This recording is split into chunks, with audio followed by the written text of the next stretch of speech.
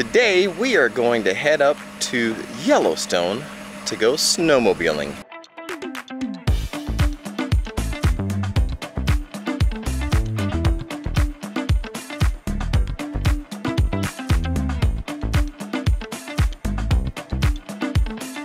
Alright, we're in Island Park, so we're only about 30 minutes outside of West Yellowstone.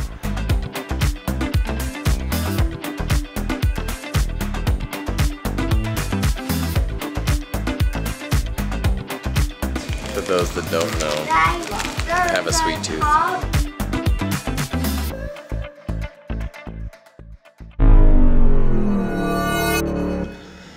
Well, I parked facing that snowbank and came back, put in reverse, and the rear tires were spinning because we're on ice. So I put it into four-wheel drive, and all I hear is clunk, clunk, clunk, clunk, which isn't normal, obviously. So I get out and I look under the truck, and the front drive shaft had popped out of the brackets holding the U-joints in, and all the bolts were loose. Ah!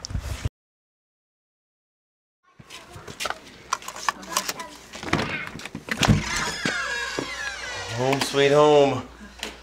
We're not sleeping in the car tonight. What we're going to do. It's quaint, but we're only here for two nights, so I'll take it.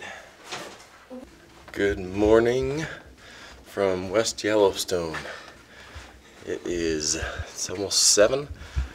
So Lucas and I are gonna get some breakfast, then we're gonna get all geared up and head over to check in for snowmobiling.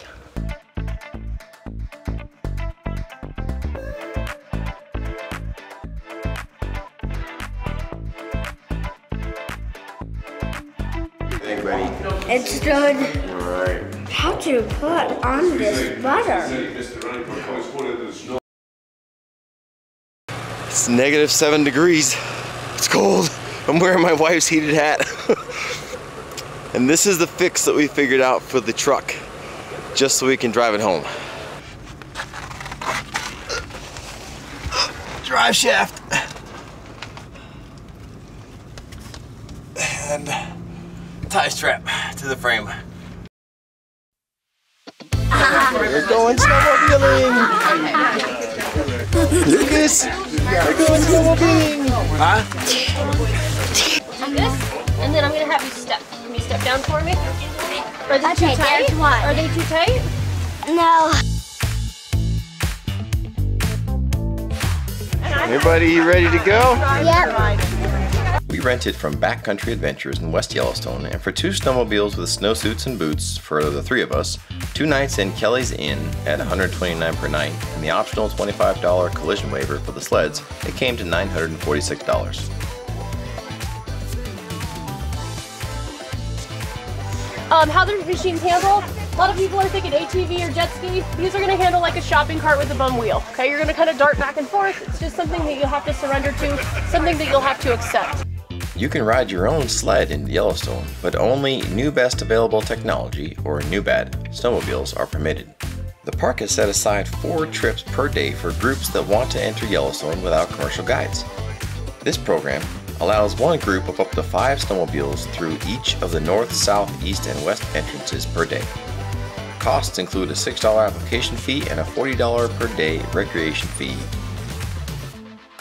Entrance to Yellowstone National Park costs $30 per sled if you don't have a park pass. Yellowstone during winter is absolutely magical. Everything is covered in snow and the only traffic on the roads are snowmobiles and snow coaches.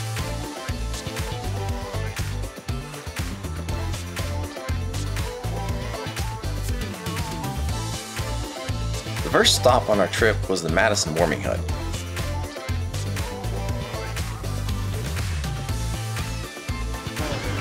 Okay, we're now at the Madison Warming Hut. It's a chance to get off, get off the sled, go to the restroom, warm up, get some drinks. Uh, most of the tours stop here, so you're about an hour into the tour at this point. Look at the size of these tires. It's up to my chest.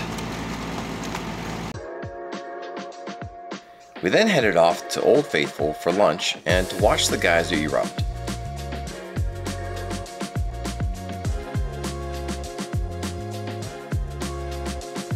Okay, we just made it to Old Faithful. We're gonna stop and grab some food inside the Geyser Grill. And then Old Faithful is out that way. It's gonna erupt here in about 50 minutes, so we'll grab lunch, go watch it erupt, and then go to the next stop.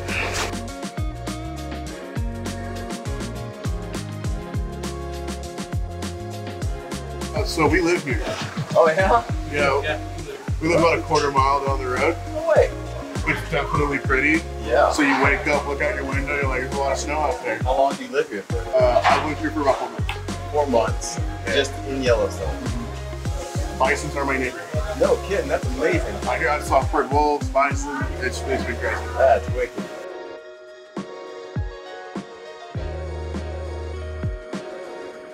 It's a little hard. Yeah, it's deep.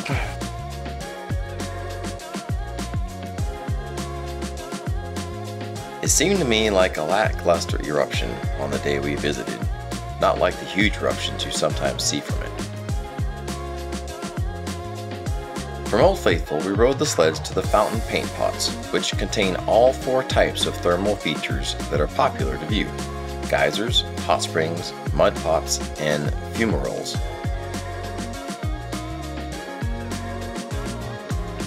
We walked the half mile boardwalk nature trail to see it all.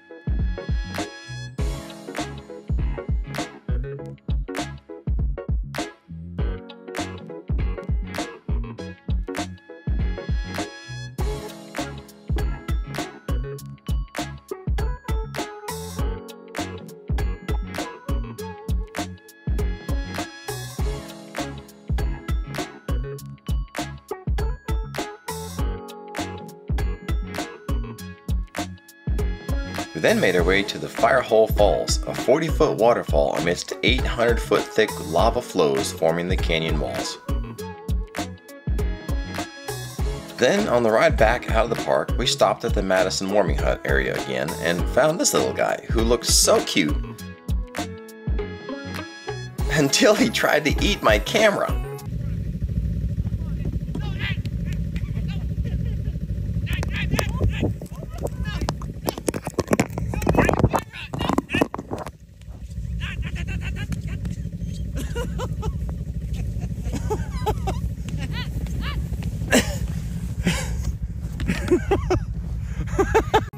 Our day ended with beautiful, clear blue skies at around 4:30 p.m., and we closed out our day with dinner and relaxing after a full day on the sleds.